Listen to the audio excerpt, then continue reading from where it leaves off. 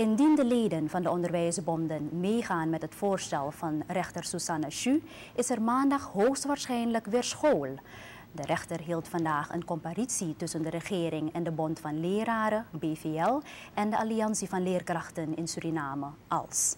Een comparitie is een speciale rechtszitting die tot doel heeft meer inlichtingen over de zaak te krijgen of te proberen partijen tot overeenstemming te laten komen. Wilgo Valies, voorzitter van de BVL en ALS, zal het voorstel van de rechter morgen voorleggen aan de algemene ledenvergadering.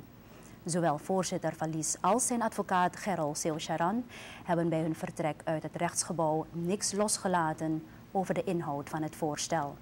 Valies is wel positief erover.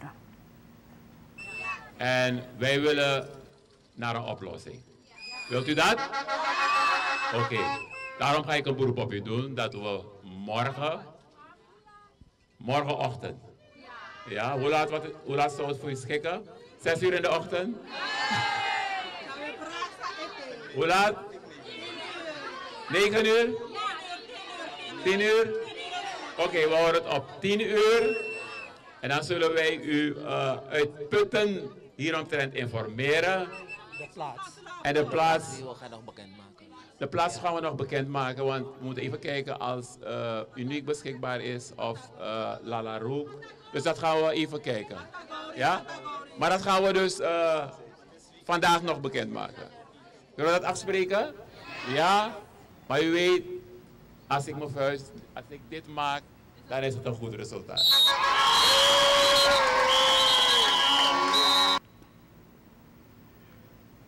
Dwight Kraag, raadsman van de staat, wilde ook niets kwijt over het voorstel. Hij zegt dat de BVL als voorzitter met zijn achterban moet afstemmen als ze akkoord gaan met het voorstel. In elk geval moet maandag de rechter worden geïnformeerd over wat het dan wordt, zegt Kraag.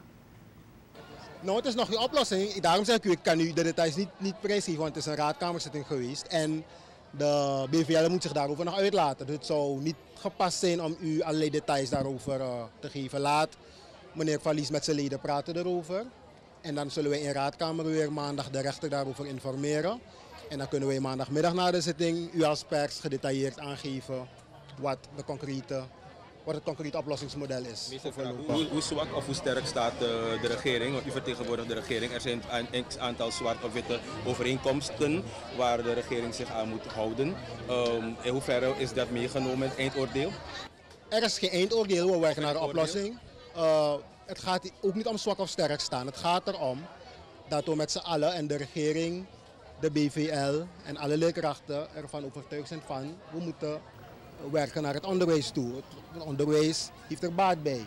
En dat besef zit, zit bij alle partijen. En vandaar dus dat wij richting die oplossing hebben gewerkt vandaag. En dat die oplossing nabij, die oplossing is nabij.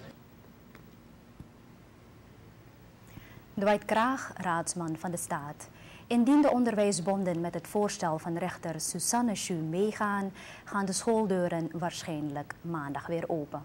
Vandaag was de 14e stakingsdag.